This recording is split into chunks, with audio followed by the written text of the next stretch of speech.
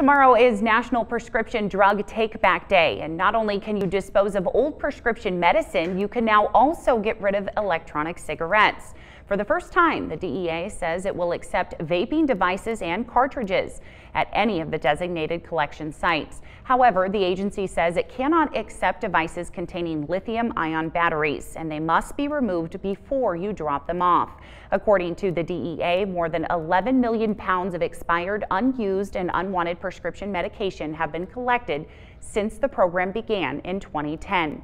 In Helena, the Lewis and Clark County Sheriff's Office is hosting two drug take-back collection sites, one in the Walgreens parking lot on the 1100 block of 11th Avenue, and one in the Albertsons parking lot on North Montana Avenue.